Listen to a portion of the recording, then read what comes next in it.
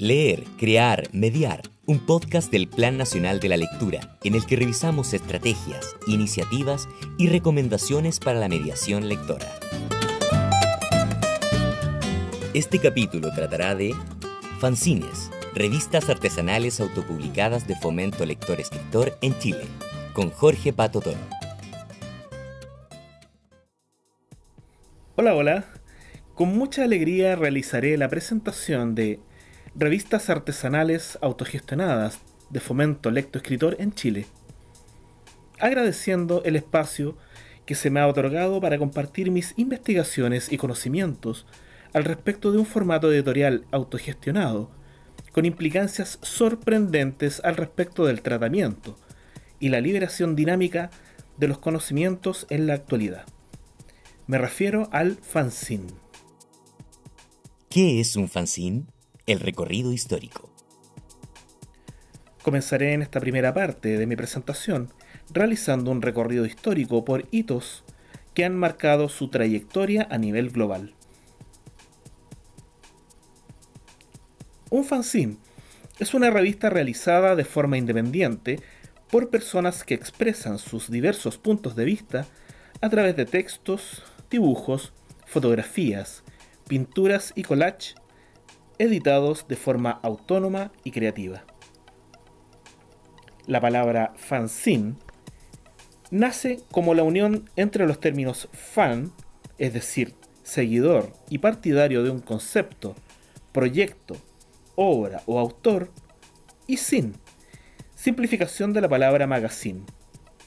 Si bien el fanzine ha recibido innumerables definiciones a lo largo de los años, en la actualidad en Chile se les ha comenzado a llamar revistas artesanales.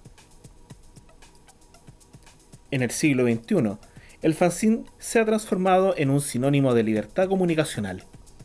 En tal sentido, hay tantos tipos de fanzines como personas existentes, siendo un reflejo de sus propias personalidades y visiones del mundo. Tal riqueza de miradas pueden ser compartidas a través de este formato editorial independiente que brinda la posibilidad de socializarlas con perspectivas alejadas de cualquier tipo de imposición u obstáculo. Como antecedente histórico inicial en el nacimiento de los fanzines, se puede señalar que luego que de la invención de la imprenta moderna, gracias al orfebre alemán Johannes Gutenberg hacia 1440, comienza en Europa, de forma paralela a las publicaciones oficiales, a desarrollarse la creación autónoma de pliegos de carácter satírico, que en algunos casos son presentados con dobleces y habitualmente son colgados en espacios públicos para ser leídos y vendidos. Estas publicaciones, nacidas desde una mirada divergente, dieron cuenta del ideario popular de los pueblos y fueron duramente criticadas por el mundo político y cultural imperantes por considerarles vulgares alcanzando gran popularidad a lo largo de las épocas y un periodo de esplendor durante el siglo XIX. Es desde comienzos del siglo XX que el concepto de publicación independiente se expande con vigor en el mundo entero, adquiriendo identidades propias relativas a cada región, desarrollándose en virtud de las necesidades de encuentro con contenidos de cada zona y alcanzando distintos niveles de notabilidad. Consideremos tres ejemplos de relevancia.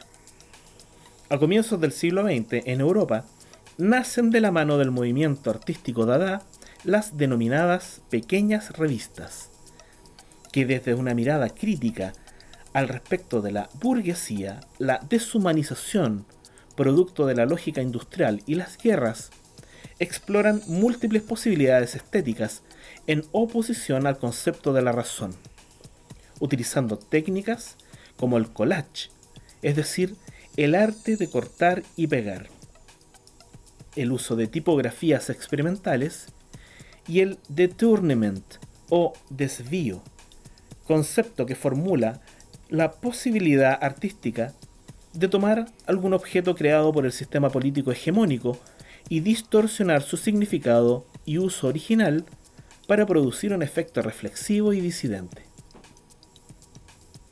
Por su parte, en la primera mitad del siglo XX en Estados Unidos, las publicaciones autónomas fueron denominadas como prensa independiente, destacando su valor como plataforma de comunicación alternativa, siendo muy utilizadas entre escritoras y escritores autónomos de ciencia ficción y fantasía que deciden editarse de forma independiente para poseer libertad absoluta en la creación, elaboración y distribución de sus ediciones.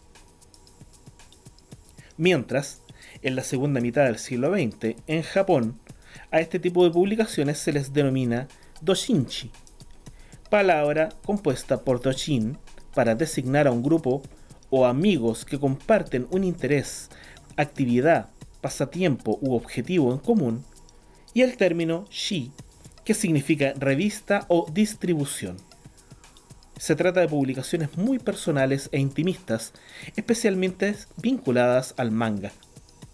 Designación de la narrativa gráfica nipona. Todos estos antecedentes internacionales que se han desplegado en coexistencia, resultando ser muy innovadores y provocadores culturalmente, hoy son parte habitual de los distintos lenguajes creativos que se utilizan en la elaboración de los fanzines actuales. Publicaciones que han recibido innumerables clasificaciones, entre las que destacan Funzin y Fuxin en tribus urbanas, especialmente dentro del punk, ska y thrash metal, boletín, revista, folleto, folletín, cuadernillo y cuaderno en ambientes de trabajo comunitario y organizaciones sociales, a la par de la clasificación plaquette desde la poesía contemporánea además de sin, e-sin y web-sin en Internet. Importante señalar la vinculación que existe entre este tipo de ediciones y el libro cartonero, realizado generalmente a base de contenidos ajenos y con producción artesanal por medio del reciclaje y la reutilización de materiales sencillos.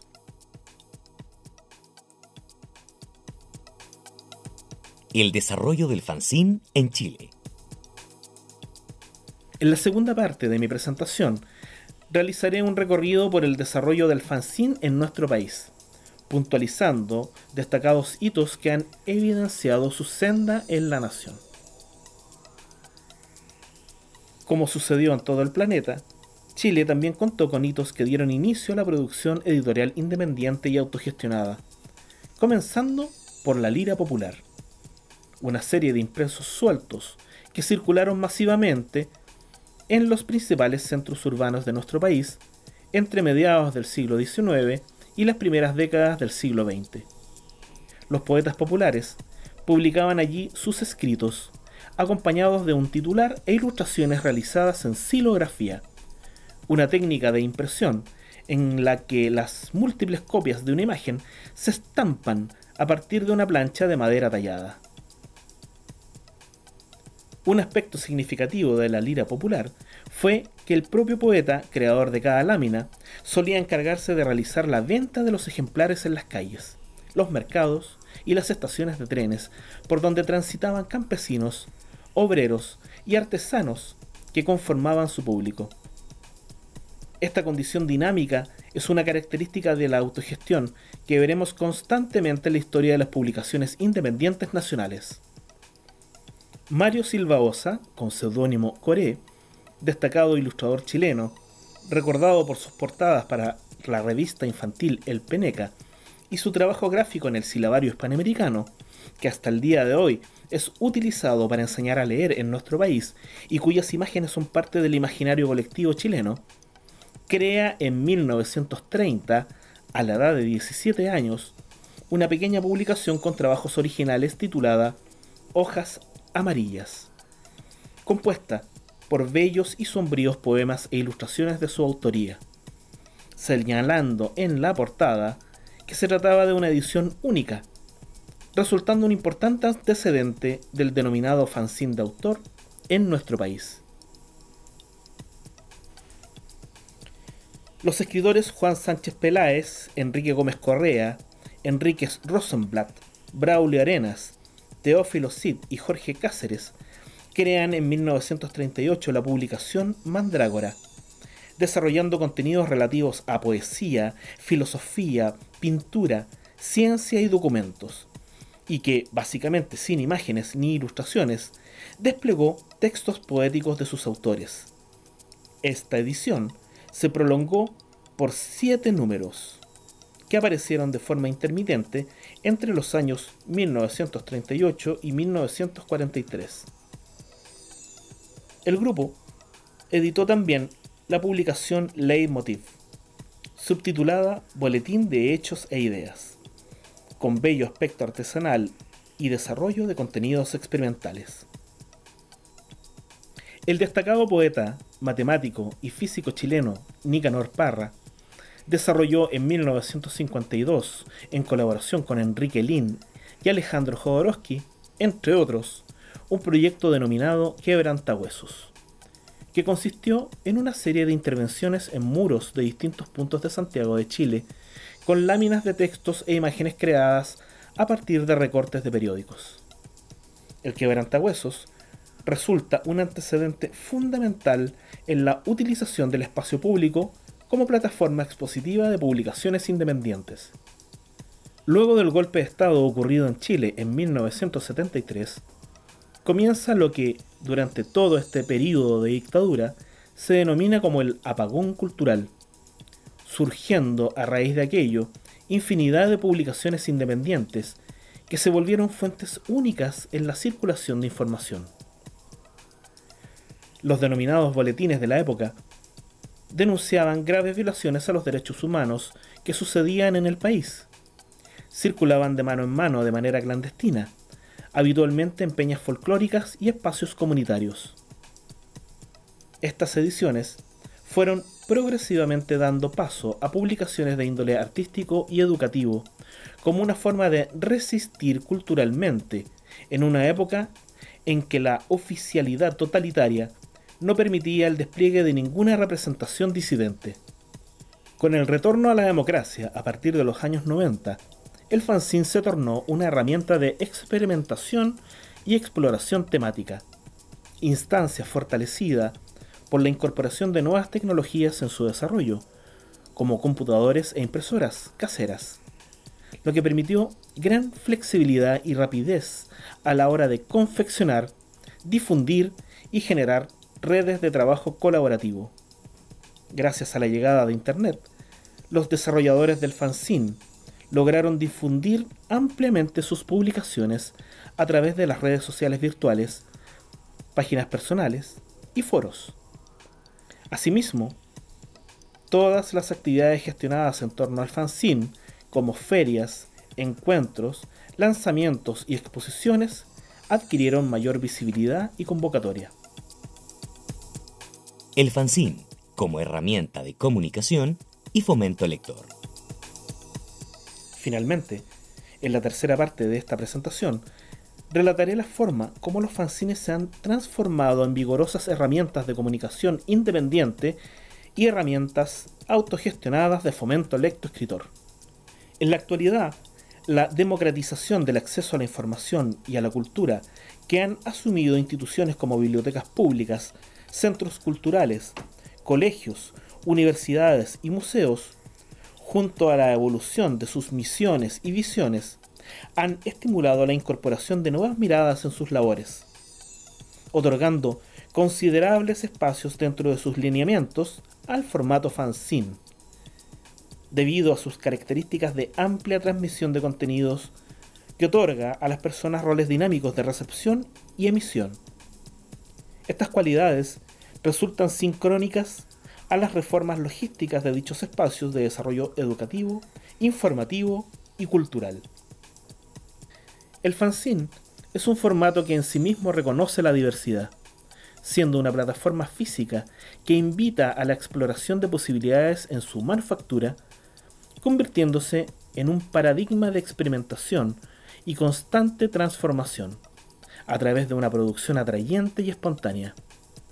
En términos prácticos, el fanzine alude al trabajo artesanal, en donde no existen reglas ni límites en su creación. Permite que autoras y autores profundicen en el campo de la comunicación creativa, a través de un trabajo en el que conviven editorialidad, gráfica y literatura.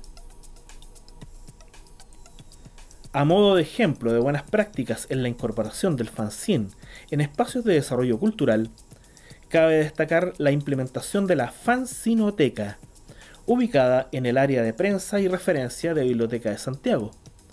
Se trata de una colección bibliográfica constituida íntegramente a partir de fanzines y que posee todas las características de acceso y uso para las y los usuarios de la biblioteca.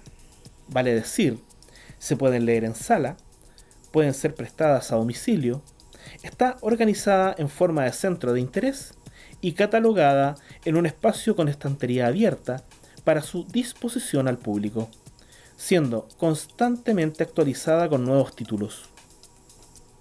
Asociada a la gestión de la Fanzinoteca, Biblioteca de Santiago realiza anualmente el evento Fans, que reúne a creadoras y creadores del fanzine chileno e internacional para propiciar su encuentro con la comunidad, compartir experiencias, reflexionar acerca de procesos creativos y presentar exposiciones, charlas, talleres, mesas redondas y ponencias acerca del fanzine en tono festivo y familiar.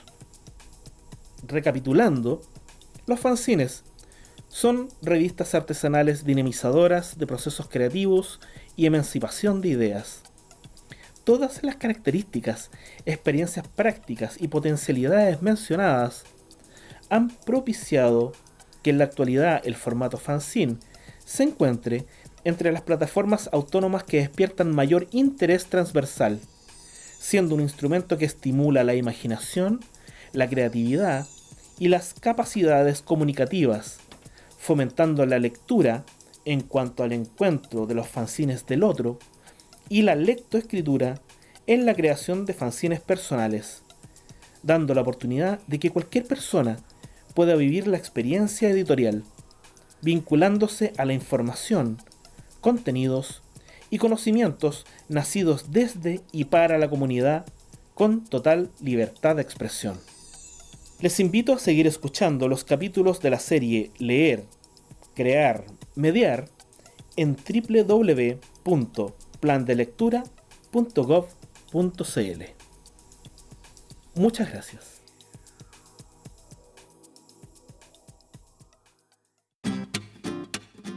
Hemos escuchado Leer, Crear, Mediar, el podcast del Plan Nacional de la Lectura, en el que revisamos estrategias, iniciativas y recomendaciones para la mediación lectora. Escucha los otros capítulos de esta serie en el sitio web www.plandelectura.gov.cl.